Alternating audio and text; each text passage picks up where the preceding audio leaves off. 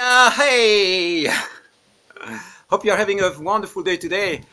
Um, the topic for this video is listen to energies. I want to inspire you today to use your sensory perception that we call feelings and um, basically get more awareness and um, uh, information from that by simply being present with what you're feeling.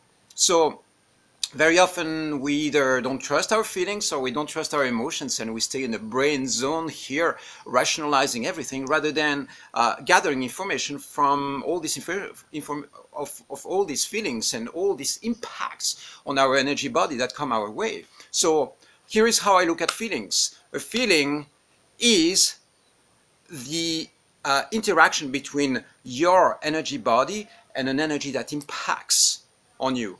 And sometimes these energies come from within, sometimes they come from outside, right? So you arrive somewhere in a location and you are you have people around you, you are going to be impacted by dozens and dozens of feelings, impressions or impacts on your energy body. So my invitation is for you to listen to those feelings. And uh, here is the trick. It is that you have pre-programmed channels of feelings in your system. It means that sometimes there is going to be an energy impacting on you and it natu it's naturally channeled within a pre-programmed response.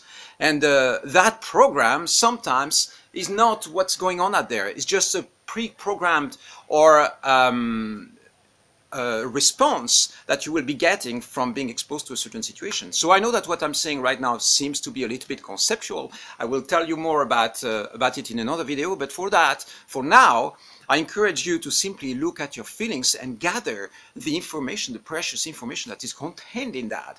Rather than rationalizing everything, just listen to what's going on in your energy body and realize that some things are impacting on you because there is a reality there. There is an interaction between you, your energy field, and other energy fields that are in the form of places, people. You know, if you are in front of somebody and that person is speaking to you, how do you feel in front of that person? Does it feel good? Does it feel bad? What kind of emotions, what kind of thoughts, what kind of um, emotional perceptions do you have about the other person, and so on? And it's a very you know vast field of perception we are lucky enough to have to have feelings in our system it's important to to uh, to listen to that and um, again, you know, in the information that you are going to get from these feelings, some of this information might be a little bit misleading because it's a projected story. You receive a feeling and that feeling is simply a pre-programmed or conditioned response because of past experiences. So that person is going to wake up certain emotions that are not really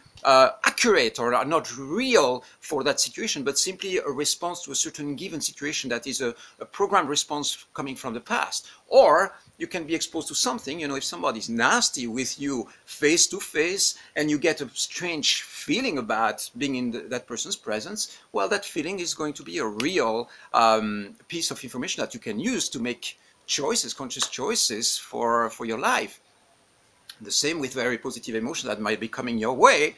You know, you might meet somebody and you've got a great feeling about around that person. Just trust that feeling rather than, you know, rationalizing uh, the connection that you might have with that person. So this is it. Trust your energies, you know, trust energies, listen to energies. That's the message for this video. I'll see you soon.